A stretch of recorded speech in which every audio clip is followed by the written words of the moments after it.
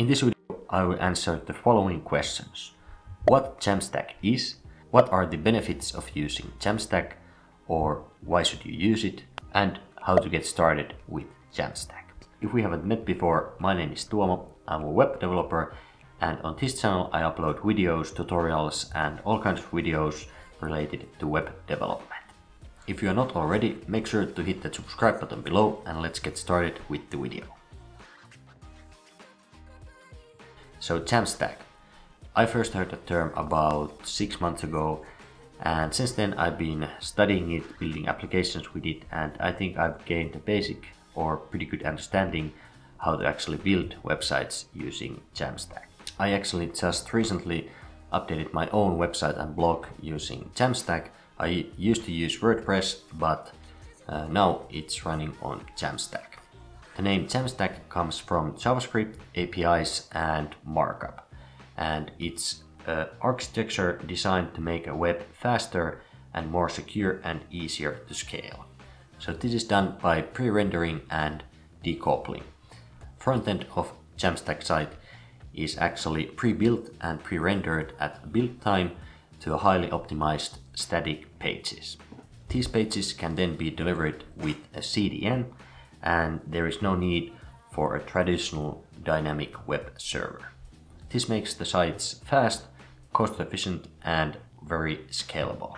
So in the case of a traditional web server, you have a client that talks to a web server and that web server talks to an app server and then that app server talks to a database or CMS. But with Jamstack you only have the client that's talking to the CDN and possibly some microservices. So what are the benefits of using Jamstack? Well, first of all, there is performance. In this day and age, the user's attention span is super short. If a web page has even a little bit of lag or the user needs to wait for the content more than like one or two seconds, you are risking of losing the user. This is not a problem with Jamstack, because Jamstack sites are static sites that are hosted on a CDN, which makes them super fast. Jamstack sites don't require the server to generate the site once a request hits the server. Because the site is pre-generated in build time, the server only needs to serve the static file. So we get super good performance without massive, expensive and complex server infrastructure. The second benefit is security. With Jamstack sites, the attack surface is quite small. Since we are just serving static pages and assets as pre-generated files, this allows read-only hosting which reduces the attack sur surface even further. The next benefit is scalability.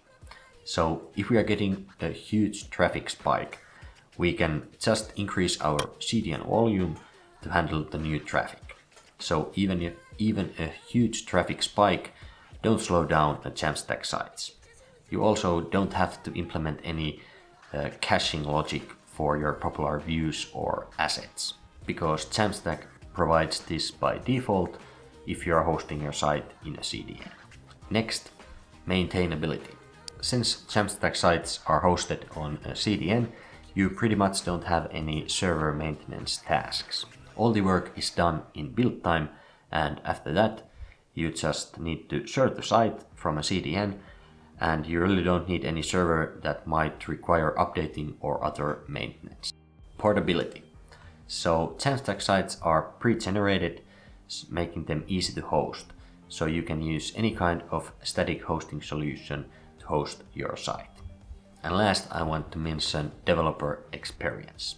So developer experience with Jamstack is, in my opinion, top notch. With Jamstack, it's very fast and pleasant to work with, and you can use wide variety of popular and modern tools and frameworks.